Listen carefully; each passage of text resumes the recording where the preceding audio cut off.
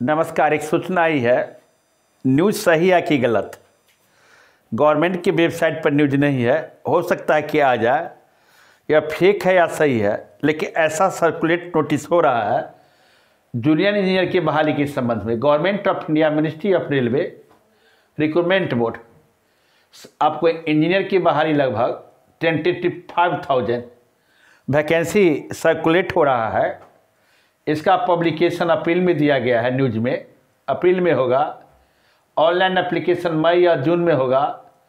Computer based परीक्षा लिया जाएगा सी बी टी वन आपको जनवरी टू फरवरी में फिर C B T two examination मई 2025 में लिया जाएगा। फिर इसी ढंग से सर्कुलेट चलता रहेगा। अच्छी वैकेंसी है। जो लड़के जूनियर इंजीनियर या अन्य चीज़ को बनना चाहते हैं। रेलवे में जाना चाहते उनके लिए बहुत अच्छी वैकेंसी यह न्यूज़ सही या गलत?